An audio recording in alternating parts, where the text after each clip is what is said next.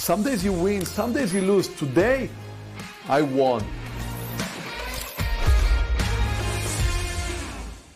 Traders, somehow I'm going to finish my day in green, but I do want to talk about something which I think is very important because I was uh, privately asked something and uh, I'll answer it here in the room.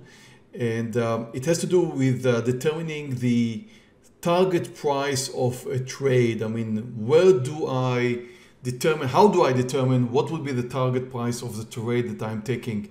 And uh, as you can see here, I'm going to finish in green today lucky to be in green because of great trade in BIIB. Had my share of winners, had my share of losers today. Uh, two trades in VRTX, but uh, a very nice one in BIIB. Uh, moved me back to green territory. And of course, CRIS just helped a little bit. I'm still riding some uh, BIIB, so it's going to be a bit better than that. And um, CRIS as well, hopefully it's going to continue. Um, I do want to talk about uh, how to set up a target price. And um, for that, let's take a look at uh, BIIB. Well, BIIB was posted here in the room, uh, not by me. It was uh, posted by uh, some of you guys in the room and uh, for a potential short. And I just followed this pick and I thought it was right. And the reason I follow this pick is mainly because of the daily. You take a look at the daily, you see what happened there. You just remember a few days ago, that's how I really started my week with a huge winner. And um, that's uh, what happened in BIIB after it was halted and then opened up. And then I just had this amazing 400 and something thousand dollar winner here in BIIB. But now comes the time where BIIB is likely to come down. So we also enjoyed another trade during this week, which was a short squeeze right over here over 400. We went long. And today is the day where BIIB comes down. Now I'm a bit, um, I'm a bit angry at myself because I should have watched BIIB. I should have followed it. When the stock is that much extended, it should have a big drop day and it had it today.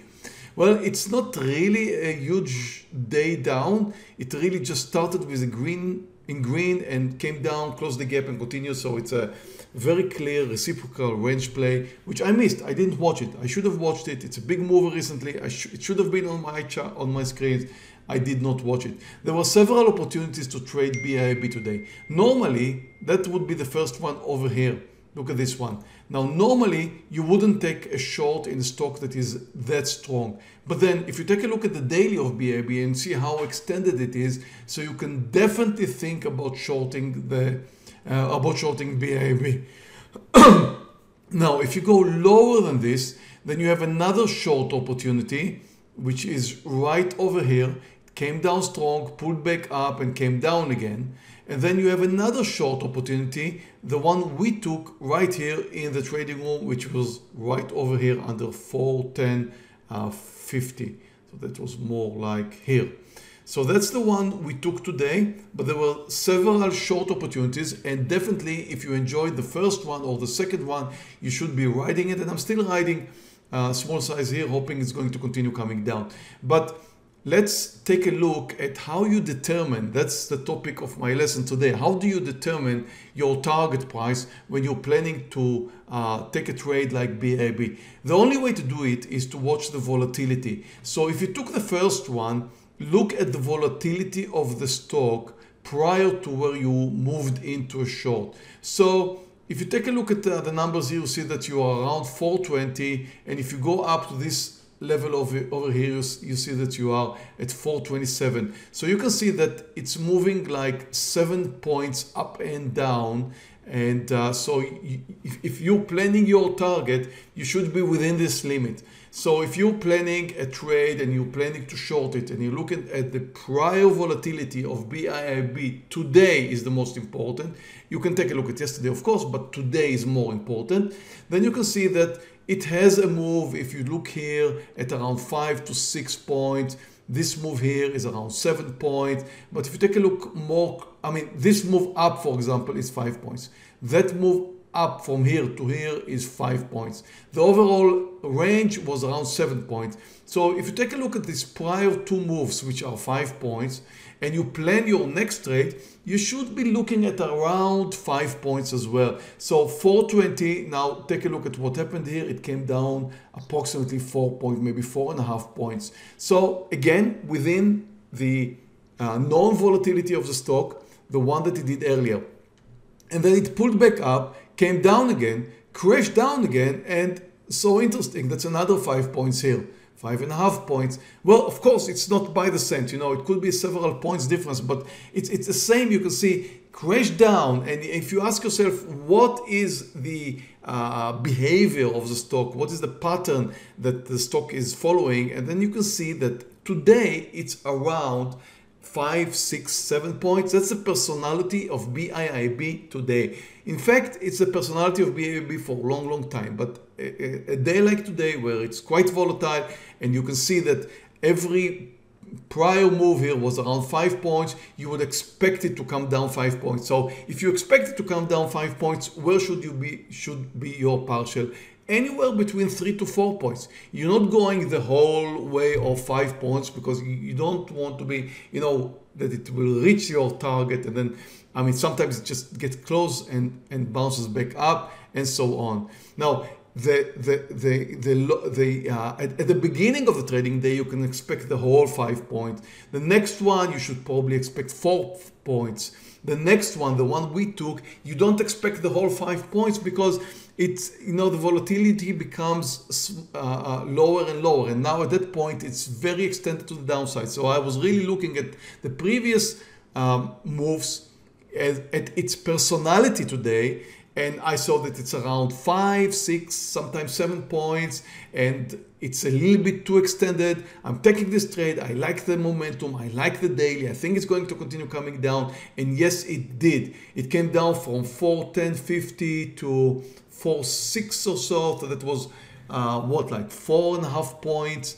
Uh, four or six. That was four and a half point did not make the five points but again within the, lim the limits. I did not get the the full uh, four points or even three but my target was around three point and it worked out uh, really okay. So again if you want to decide, and, and, and, and then again, look at what happened later. It bounced up five points, came down five points, bounced up again five points, came down again five points. Again, that's the personality of BIIB today. So if you want to determine your target price, you need to take a look at uh, um, you need to take a look at uh, the point where uh, at, at its previous behavior and understand what to expect.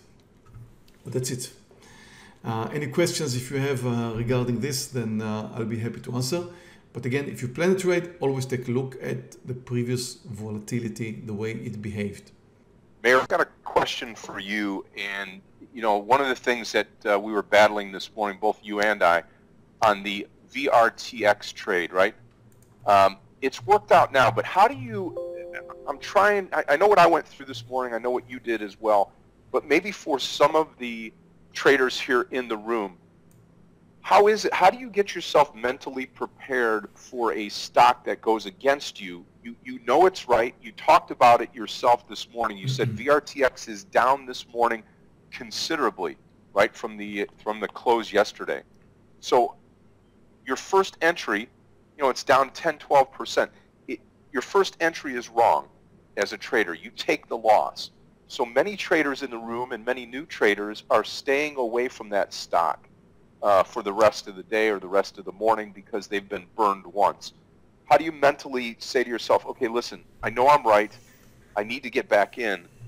How do you prepare yourself, I guess, mentally to come back into the trade after having a loss like that? Well, let's just say, uh, let's go quickly through VRTX. You know, the stock was down like 9% or so, so you would expect the first pullback to be a gap and go. You expect it to come down, which didn't happen. That's where we took our first loss. It moved over the highs. We got to have a stop loss somewhere, of course, so we moved out. But when the stock is down 8, 9, 10%, you expect it to fail. If it didn't happen the first time, then probably the second time. Now it's extremely rare that it's doing it on the third time, which is now. I would not take a third trade. I had two losing trades in VRTX. Here's the results here. You know, I'm down almost 10 grand in VRTX today. Two trades, so I had enough. The thing is, when when when I'm taking my first trade and I'm failing, it's very likely for a stock that is down that much to work out at the second pullback, which was right over here and sadly did not work as well. Well, tell you what, it's rare, but it happens. Um, theoretically, we could have taken a small partial here, but we were expecting it to move uh, farther. So we were expecting a bigger target. But, and then it came for the third time. That's very rare. And, and I'm not sure it really is working well right now. It did not come down under the lows. It's really just going sideways and slightly down. So that comes into the category of the stocks that do not really do what you expect them to do. That's not the majority. That's a small part of it. That's maybe 30%, maybe more. 30 is a lot, but you know, some of them just don't do what you expect them to do, right? I mean, it's a part of the game. There's no way around it. But if the first one failed, tell you what, the second one is very likely to succeed. So I'm, I'm, I'm, I'm the first one should have at least, in my opinion, 65% uh, chance to succeed. Second one, maybe more because it failed the first time. Now I'm taking it the second time as long as I'm following my rules, of course, and I'm getting the right in at the right time and everything, then I, I don't expect less. In fact, I probably expect more. And anyway, uh, second time didn't work out, rare, but it happens. So I'm just prepared because I have to do what is right to do technically. We always do what is right to do technically. So when we expect something technical to happen, the only way to become a trader is to just repeat what you know.